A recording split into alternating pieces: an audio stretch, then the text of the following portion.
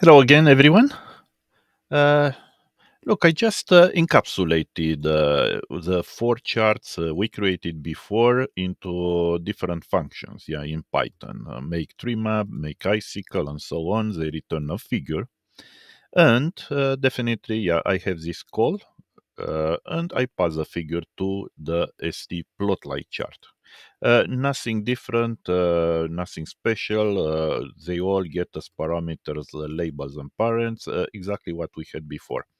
And as usual, yeah, I launched our local web server with this new separate file. So it's uh, up4 py the way uh, the charts are rendered are uh, one below the other, and uh, that's not very pleasing. Is there a way to show them one by one? Uh, let's see. Um, look, uh, in uh, Streamlit, you have something called uh, expander.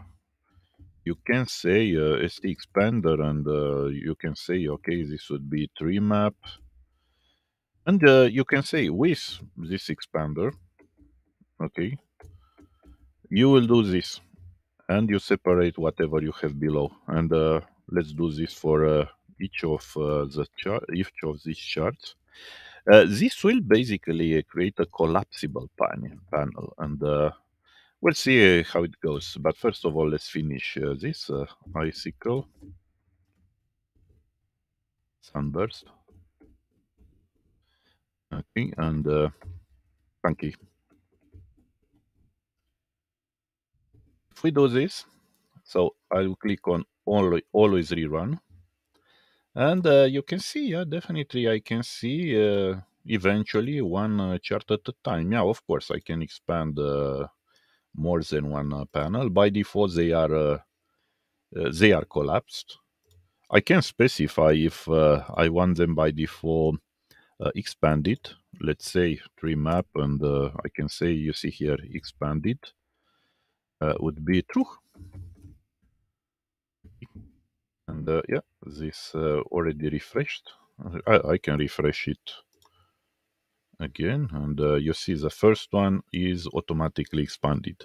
But uh, it's still not ideal what we can do as well. And uh, ju just uh, okay until we do this let's do something different. This would be you you can pass into a variable the expander you create and then say uh, here specify the expander instead. Expander 2, expander 2. So that's another way of doing this. Okay, you can see. Let's refresh it just to make sure. And uh, the icicle, in our case, yeah, it's built the same way. But here, plotly chart, yeah, we call it from uh, the variable that we created before as an expander. So that's another way to do it. And uh, you'll see we have different containers, yeah, because these are containers, component containers that we create like this. Uh, these are the two different ways to call them. You either pass the created object to a variable and you can replace st with that variable yeah, as a container, or you can say with with this expander, so with this variable basically, and automatically uh, this uh, output controls like this well will be rendered uh, within the current container. But uh, there is, as I was saying, uh, there is another way to do it uh, with tab controls. you can say tabs is st tabs. Let's see, okay, and here you can pass an array of uh, page uh, page names, and I'll have the same. I will have a tree map.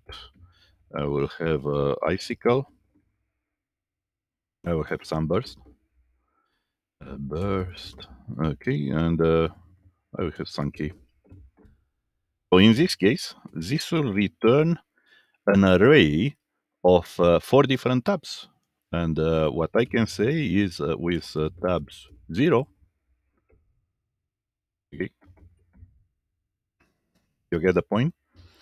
Or, of course, here the alternative is uh, call directly tabs 1. Here I will say uh, tabs 2. Here tabs 3. Okay, let's see how it goes. Oh, you see? Tree map, icicle, sunburst, and Sankey. Nice. That's a tab control. And uh, that's the way you build it.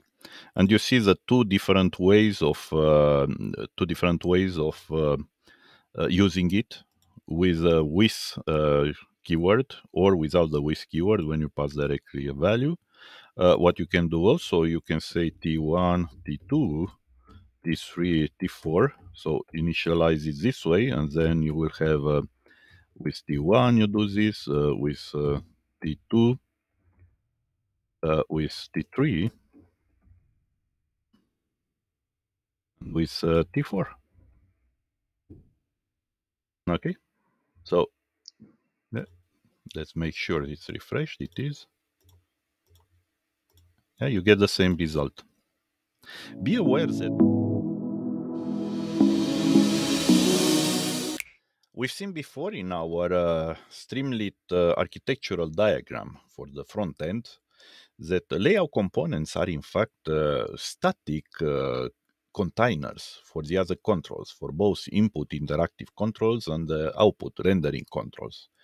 Uh, when I'm saying uh, they are static components, this means that uh, yes, they may have dynamic behavior, but programmatically, uh, in Streamlit, they don't throw events and uh, you cannot capture events. So, for instance, uh, if you switch a tab control to your new tab page, you cannot control this from your program you cannot uh, determine to fill in uh, the page uh, only when that page becomes visible. There are not so many layout components, so learn them and use them. they are in fact very simple with a minimalistic approach of Streamlit, uh, they are very easy to use. And uh, look, uh, the next slide, uh, you can use it as a cheat sheet if you want. But uh, until then, uh, let's review them one by one.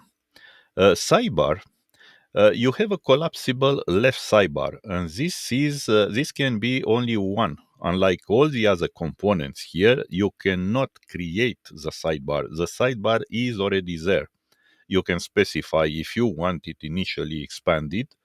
Uh, when you populate it with uh, controls, uh, it will be it will start automatically expanded, and uh, you can uh, collapse it and expand it anytime if uh, it is not empty. So, unlike other controls, you'll see when you, let's say, write something in the sidebar, you have to say st dot sidebar dot write. st tabs yeah, that's a group of tab pages uh, as we've seen before. And you have to pass uh, an array uh, with uh, uh, page header names. st columns, that's a group of side by side horizontal containers. We experimented with the expander, which is a collapsible container, collapsed by default. Uh, st container will create a multi-element container.